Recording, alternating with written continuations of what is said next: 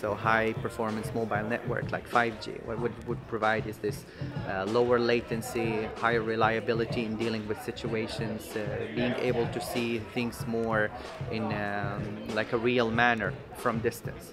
So you want to optimize the whole fleet and you want to solve the problems on the one car level or one truck or one bus and then we want to have interaction between those levels. And we are doing this research between those different levels in order to provide a, a, different way of remote control. It's not only remote control from a distance also optimization of the transport fleets and, thinking how the control towers connect to each other. We were making a lot of breakthroughs trying to connect cars with infrastructure so that they'll be more safe, like autonomous mobile uh, uh, transport and everything. So yeah, it's it's quite exciting.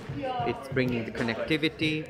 It's bringing the uh, transport industry, manufacturers, operators. It's bringing um, high-level control from what, what, we know from airline industry, the control towers in the airline industry with the trains. It's bringing all of this knowledge, kind of like molding in this pot, and then uh, everybody can make learning uh, the master students, researchers, developers.